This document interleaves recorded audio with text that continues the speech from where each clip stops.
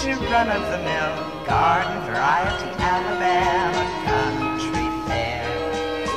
Left on Silver Lake, he keeps a small apartment top an Oriental food store there. He returned from Alabama to see what he could see.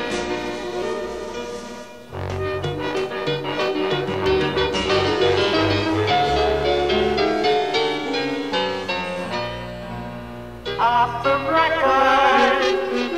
He is hungry, though he works hard in his Alabama country fare. I should think he'd fade away from the way that bohemians often bear